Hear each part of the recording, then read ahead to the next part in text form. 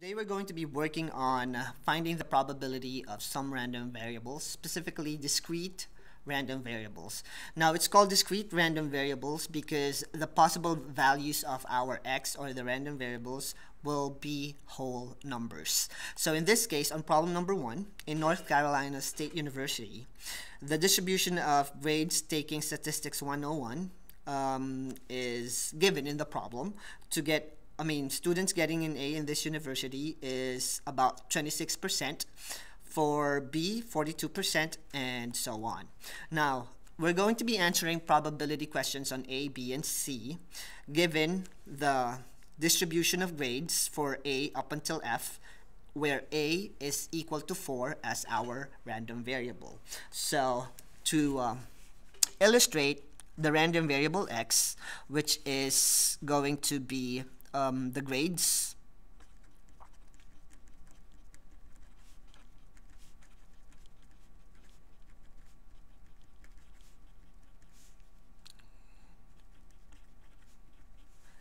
And uh, in this case, our values for x will be 0, 1, 2, 3, and 4. And the reason why we know it's going to be x equal to 0, 1, 2, 3, and 4 because according to the given um, values, a is 4, so b would be our 3, a grade of c is going to be 2, grades of d is 1, and f will be a grade of 0. So this will be the distribution of our random variable, and if we're going to draw a table based on the information given. So we can have x as 0, 1, 2, and 4. And the percentages for the grade distribution to get a 0, it's going to be 2%.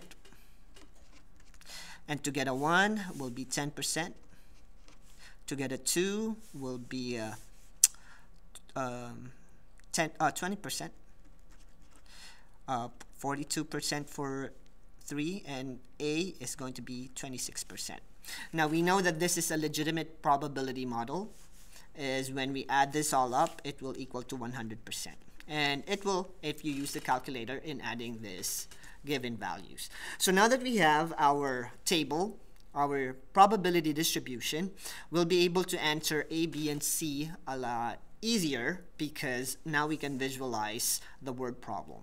Now for the first one, we need to write p of x greater than or equal to 3 in words. So p of x of 3 means b. That means what's the probability that a student will get a grade of b and above. So that will be our um, description for p of x greater than or equal to 3. So we'll have the percentage or probability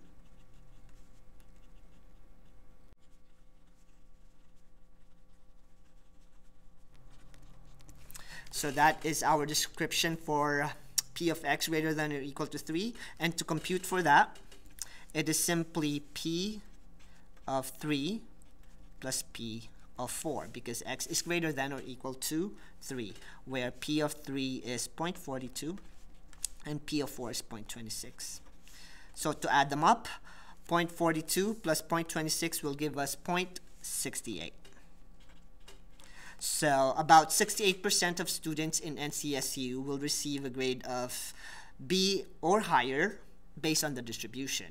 Now to answer letter B, we need to write the probability of student getting a grade worse than a C in terms of the values of the random variables, so just like this one right here, and uh, find the probability of this event from happening.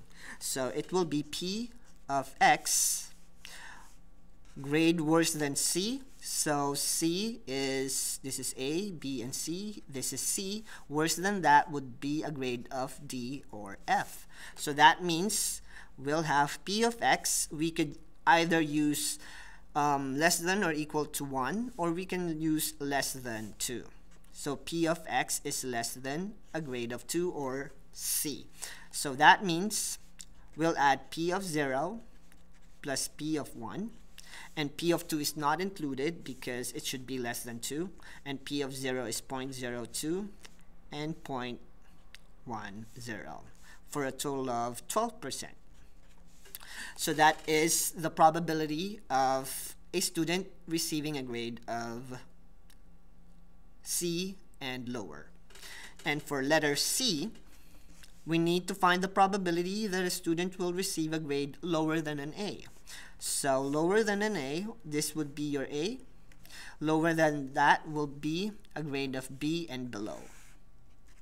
So that means our probability notation will be P of X less than a grade of 4 or A, which means we can add P of 0 plus P of 1 plus P of 2 plus P of 3. This is one way of solving it, and then another way of solving this problem is to find the complement of getting a grade of A. So if A is 0.26, we subtract it from 1, and we'll get our answer, which is 1 minus 0.26, which is the same as this notation right here.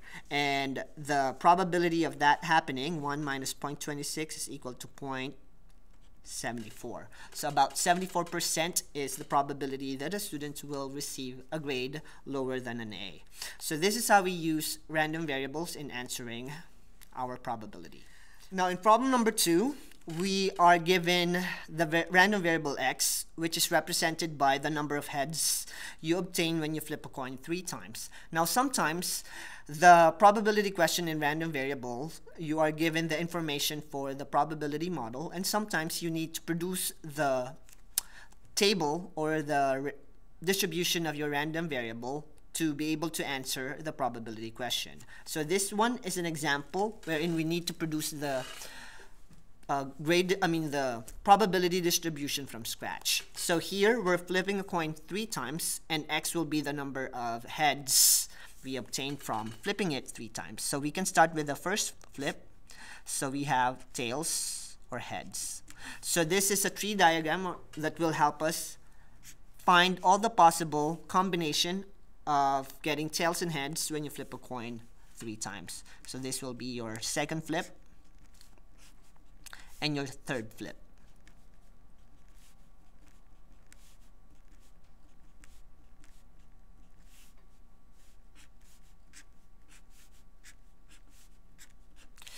So with your tree diagram, you know that when you flip a coin three times, you could possibly get T, T, T, or T, T, H. And to complete your set of outcomes, you'll have T H T T H H H T T H T H H H T and H H H for a total of 8. So the sample space for this distribution will be 8. And now, to define what the variable x is in this situation, x will be the number of heads when you flip a coin three times. So to um, do a table, the possible values of your random variable will be um, 0 because you can get 0 heads. Example, a flip of TTT. So you can have 0. You can also have 1 heads, 2 heads, and a maximum of 3 heads because you're only flipping it 3 times. So to do your table, so x would be 0, 1, 2, and 3. And your probability will be found using your um, tree diagram.